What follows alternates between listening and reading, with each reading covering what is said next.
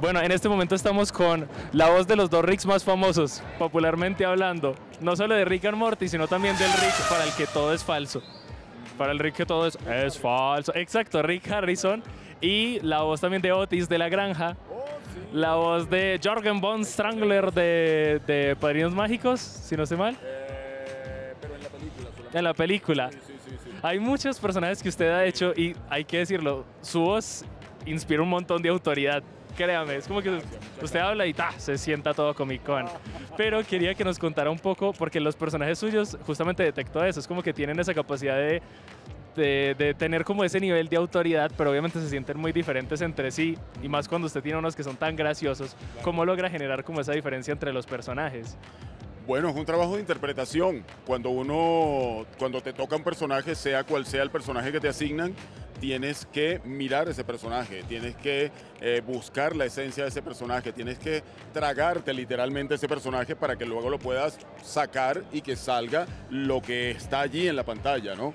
Un maestro del doblaje siempre me decía eh, que el doblaje es calcar la actuación que está en la pantalla, pero eso necesita interpretación. Porque tú me nombraste varios personajes que son muy distintos.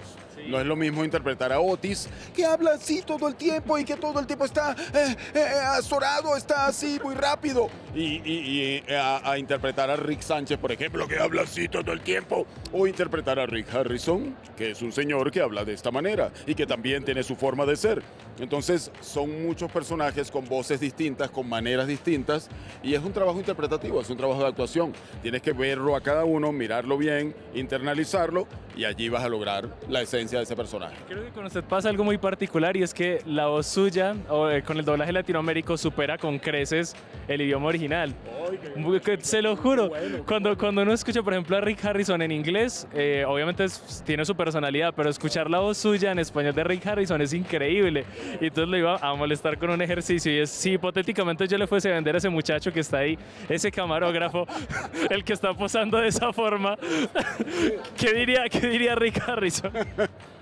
Eh, bueno, él es un camarógrafo que creo que tiene más o menos unos eh, 25 a 30 años y él eh, pues ha estado haciendo unas fotos eh, maravillosas. Realmente él eh, se ha dedicado a estar en el Comic Con, a tomar fotos de grandes actores y actrices y de otras personas y creo que eso podría hacerlo valer mucho dinero. Ahora, el tema está en si él es original.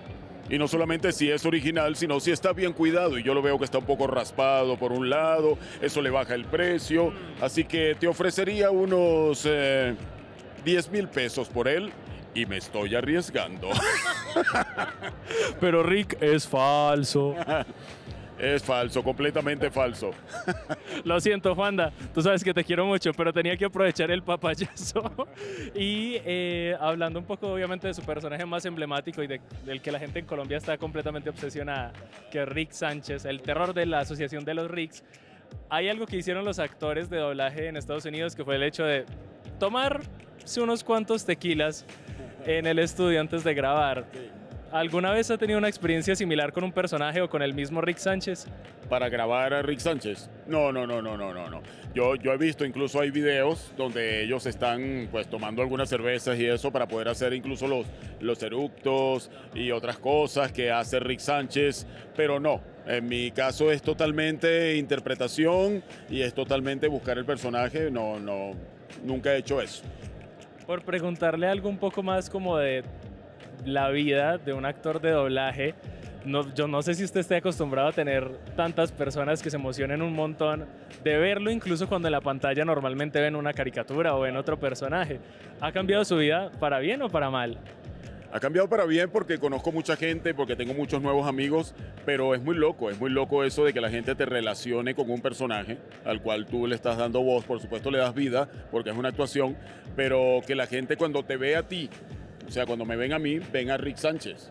Y eso es, eh, sabes, en principio te choca, te pega como que, como ya va, yo soy la voz de Rick Sánchez, pero para la gente eres el personaje.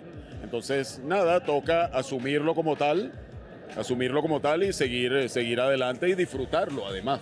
Yo creo que esto hay que disfrutarlo. Por ejemplo, estar acá en el Comic Con, eh, ver a tanta gente que viene para que yo le haga una firma, para tomarnos una foto, un video, etcétera, que me abrazan, que me dicen que me quieren, eso es para disfrutar y le doy gracias a Dios por eso. Puede que en algún momento en el futuro la gente no se tatúe a Rick Sánchez en el hombro, sino que se tatúe en el rostro de Juan Guzmán. Podría pasar. Eh, podría pasar y no sé, cuando pase la primera vez no sé qué voy a hacer. Juan, muchísimas gracias de verdad. No sé si en cualquiera de tus tantos personajes les puedas mandar un saludito a las personas de Telecafé. Claro que sí. En mi tienda, la familia es lo primero y el dinero viene después, dependiendo de a quién le preguntes. Pero mirar Telecafé es algo importante que ustedes deben hacer. Y al decirlo, no me estoy arriesgando.